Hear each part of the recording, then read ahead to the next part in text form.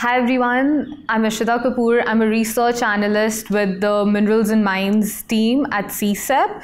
One of my latest discussion notes that have been put up on the CSEP website is on the District Mineral Foundation funds.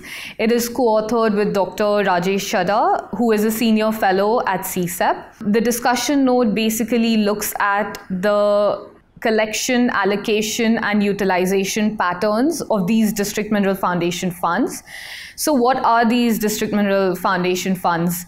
They, they are a benefit sharing scheme that was launched in 2015 for the mining affected communities. So, they basically are for the development of uh, these mining affected areas. There are some prescribed sectors under these uh, DMFs that need to be focused on. Um, they're called the high priority areas and the other priority areas. So the high priority areas include education, health, environment, women and child welfare, welfare of aged and disabled, and a few others, while the other priority areas mostly focus on physical infrastructure and irrigation it is prescribed that at least 60% is allocated and utilized in these high priority areas. We have created an index to measure, as I mentioned, the collection, allocation, and utilization patterns in top 10 mining states in India.